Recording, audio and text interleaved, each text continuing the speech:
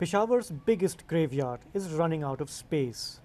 Many of the nearly 150 people killed in Tuesday's massacre are now buried here. Among them, the 29 year old Urdu teacher Sahar Afshan, who was killed while trying to save her students. She was a natural leader and a brave woman who took great pride in her teaching, her family tells me.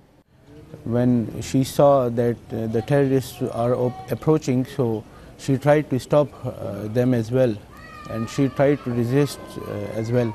But she was uh, shot on a point blank on, on right uh, forehead. Who do you think committed this atrocity? They are uh, enemies of Pakistan. Do you believe Taliban did this? Whoever did, they are not human beings actually. They may be Taliban, they may be anyone.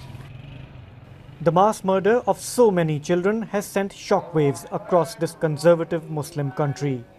Those previously afraid of speaking out against the Taliban are finding the courage to demand tough action against the militants. After Friday prayers, this crowd told us they want the military to go after the Taliban.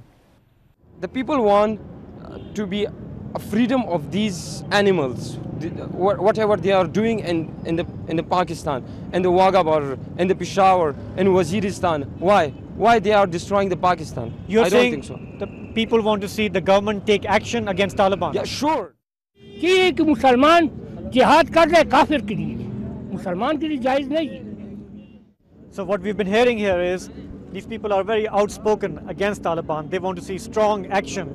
now this is a change in public attitude. For a long time, people did not take Taliban's name. They talked about enemies of Pakistan, they talked about militants, but increasingly we are seeing more and more people having the courage to name names and they want action against Taliban militants.